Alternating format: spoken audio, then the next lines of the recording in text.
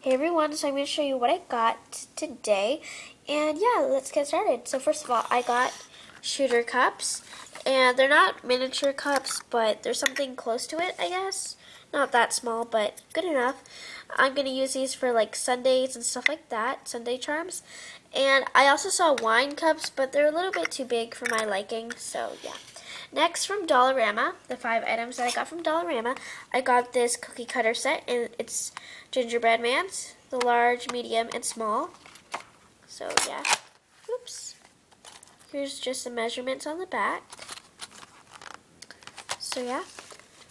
Then, I got the sequins and rhinestone kit. So, here are the sequins at the top, the flat backs, like pearls, um, teardrops, hearts. Then we have the rhinestones. Next, we have this mobile phone holder. And it's like an elephant. And it's really cute, actually. Um, and here's how it's supposed to do.